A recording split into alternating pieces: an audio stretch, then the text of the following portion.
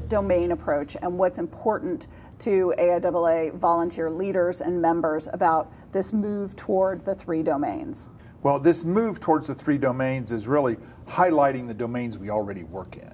AIAA has traditionally been a very discipline oriented organization, and those disciplines are still essential to everything we do.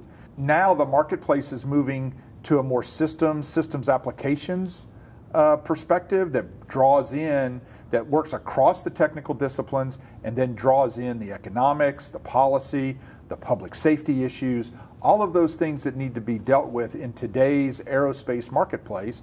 And so we're setting the domains up to help AIAA take advantage of its great technical capability and all of its assets and put that connective tissue among all of that to help increase the impact of the work that our AIAA members do to better impact and have more broad impact across the aerospace industry and also those that are looking at joining the aerospace industry. What does it mean to me? What does it mean to me as a technical committee person? What does it mean to me as an individual member or as a person in a section or a student branch? Number one, we're starting off with, well, why are we doing it? And we've talked about that already in terms of how the marketplace is changing for the aerospace industry and how AIAA needs to evolve with that marketplace.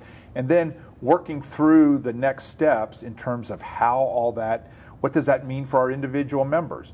And so as you take the technical committee work that helps put the content together for our forums, uh, the work at the regions and the sections and the branches and the integration committees that's also important.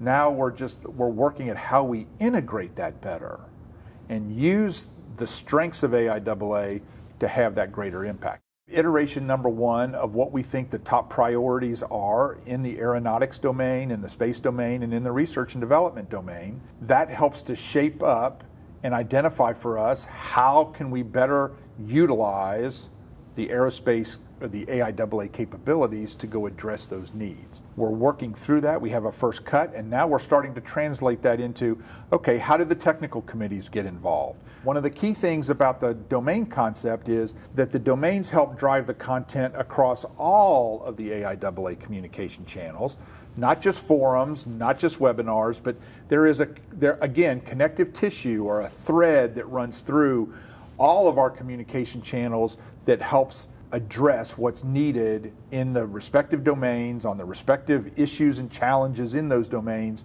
so that AIAA continues to drive progress for the, for the aerospace profession.